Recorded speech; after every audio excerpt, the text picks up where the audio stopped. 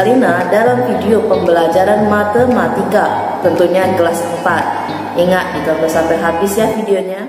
Baiklah, dalam video pembelajaran matematika kelas 4 hari ini, Miss akan menjelaskan mengenai apa saja, kita lihat ya. Penjelasan mengenai diagram jenis-jenis diagram, kelebihan dan kekurangan diagram, dan yang terakhir adalah manfaat diagram. Oke, disimak baik-baik ya penjelasan Miss. Oke, kita lanjut lagi.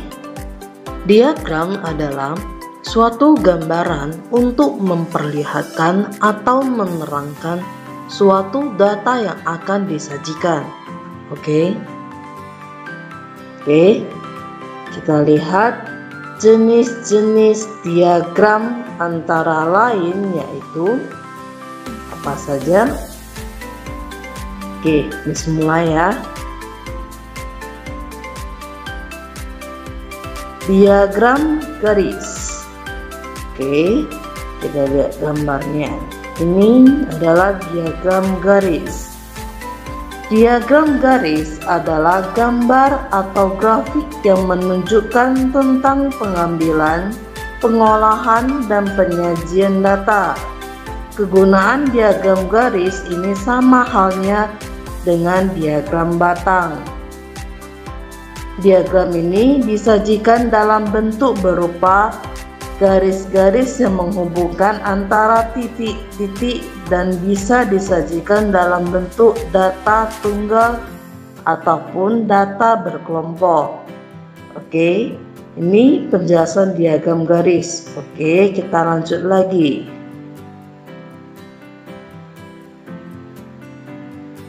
Diagram garis.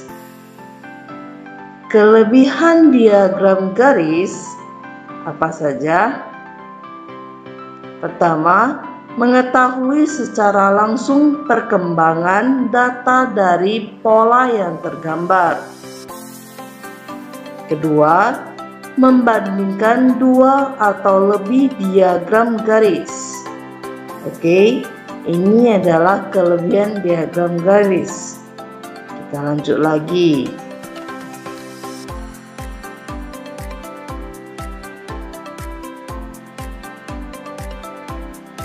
Kekurangan diagram garis apa saja Oke, yang pertama hanya digunakan untuk data yang berkelanjutan. Kedua, perlu ketelitian dalam membaca diagram garis. Oke, ini adalah kekurangan diagram garis ya. Oke, diagram lingkaran. Gambarnya seperti apa? Kita lihat. Ya, ini adalah gambar diagram lingkaran ya. Secara teori, diagram lingkaran adalah suatu gambar atau grafik yang menunjukkan sebuah data dari hasil pengumpulan, perbandingan, pengolahan, dan lainnya yang disajikan dalam bentuk lingkaran. Penyajian diagram lingkaran ini dibedakan menjadi dua, yaitu diagram lingkaran yang berbentuk derajat dan berbentuk persen. Oke. Nah, kita lanjut lagi mengenai diagram lingkaran. Kelebihan diagram lingkaran apa saja? Yang pertama, menghemat tempat atau ruang karena diagram lingkaran tidak memerlukan banyak tempat. Oke, yang kedua, memperlihatkan perbandingan masing-masing ukuran data melalui besar sektornya. Oke, ini adalah kelebihan dari diagram lingkaran. Kita lanjut lagi. Adalah kekurangan diagram lingkaran apa saja? Diagram lingkaran tidak memperlihatkan ukuran data atau frekuensi masing-masing data. Oke.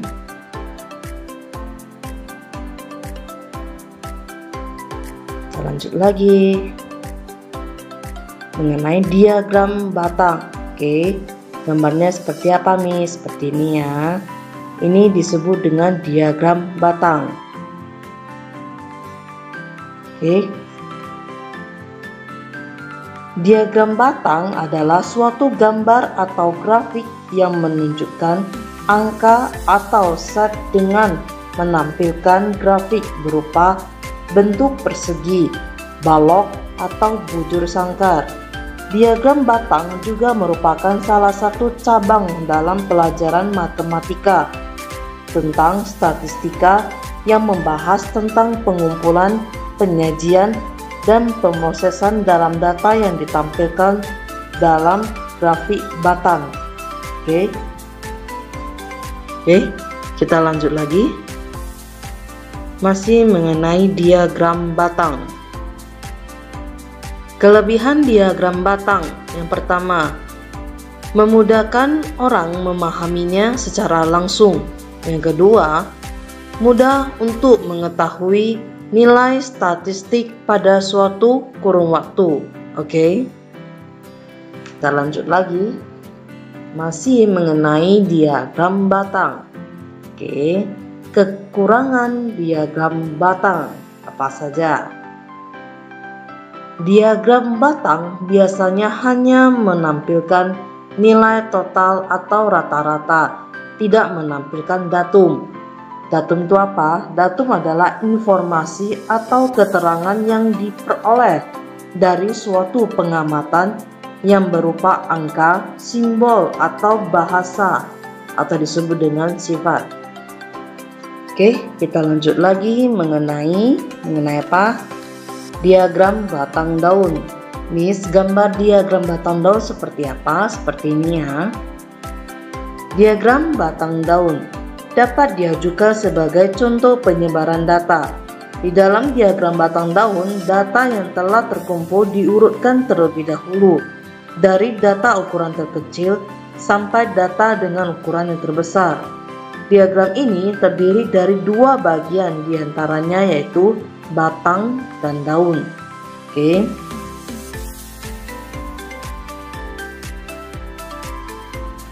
Kelebihan diagram batang daun Pertama, menyajikan kumpulan data Kedua, secara efektif dapat menampilkan penyebaran atau disebut distribusi data. Ketiga, dapat menampilkan datum paling banyak muncul, datum terkecil dan terbesar. Masih ingat kan pengertian datum itu apa? Datum adalah informasi atau keterangan yang diperoleh dari suatu pengamatan yang berupa angka, simbol, atau bahasa. Oke, kita lanjut lagi.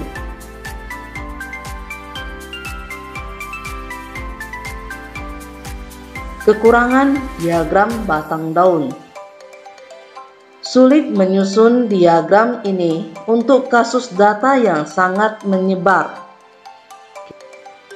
Oke, kita lanjut lagi mengenai diagram lambang atau disebut dengan piktogram. Oke, ini gambarnya ya. Diagram lambang atau piktogram pada diagram ini ukuran data dinyatakan dengan gambarnya atau lambangnya. Tiap gambar mewakili suatu jumlah tertentu. Oke. Kita lanjut lagi. Masih mengenai diagram lambang atau disebut dengan piktogram. Kelebihan diagram lambang atau piktogram. Pertama, lebih mudah dipahami dan lebih mudah dalam menentukan banyaknya data. Yang kedua, lebih menarik karena penyajiannya dalam bentuk gambar atau lambang. Oke. Kita lanjut lagi. Kekurangan diagram lambang atau disebut dengan piktogram apa saja? Pertama, kurang cocok untuk menyajikan data yang ukurannya tidak bulat. Maksudnya gimana? Contoh ya, jika gambar orang mewakili 10, maka untuk menyatakan lima orang, gambarnya hanya setengah. Oke. Kedua, diperlukan kreativitas untuk membuatnya. Oke, kita lanjut lagi mengenai fungsi diagram secara umum antara lain yaitu pertama, mempermudah dalam perincian data angka Kedua, memperjelas penyajian data. Ketiga, penyederhana suatu kompleks. Keempat, menggambarkan tahapan-tahapan untuk mencapai suatu tempat. Kelima, menerangkan data yang sulit dimengerti dengan mudah. Dan yang terakhir, lebih mudah digunakan. Inilah keenam fungsi diagram secara umum. Oke. Mengenai Kelebihan dan kekurangan yang disebutkan di atas bukan berarti diagram yang satu lebih baik daripada diagram yang lainnya. Masing-masing diagram akan efektif digunakan jika tepat dalam penggunaannya dan sesuai dengan kebutuhannya. Oke, nah ini adalah penjelasan Miss untuk video pembelajaran kali ini.